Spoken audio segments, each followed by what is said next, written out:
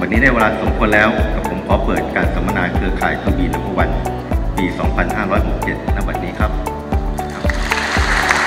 ค่ะ ขอขอบคุณนายแพทย์คุณพจน์พรมศรีดารองอธิบดีกรมสุขภาพจิตที่ได้เกียรติประธานให้กับเราด้วยนะคะขอบคุณอีกอย่างหนึ่งของครอบครัวทวีนวันนะครับ เพราะงานนี้เป็นการรวมตัว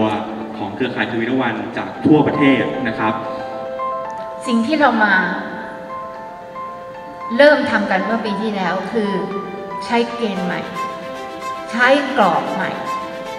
แล้วมันส่งผลดีต่อผู้ที่ทำงาน ในเรื่องของกำลังใจ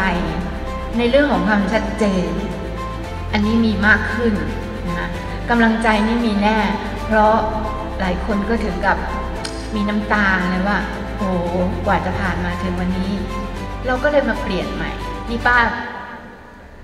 ย้อนทำความเข้าใจอีกครั้งก่อนที่จะเดินหน้าอธิบายต่อนะ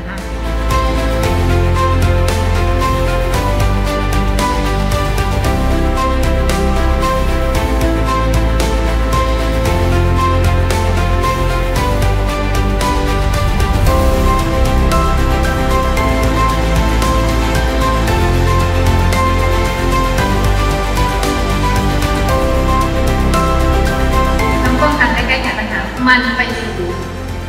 ประสิทธิภาพและประสิทธิผลสามารถจะไปอ้างอิงได้ให้คนอื่นเขาเชื่อถือได้ โดยเฉพาะองค์ประธานของเราเวลาที่นำความกราบทูล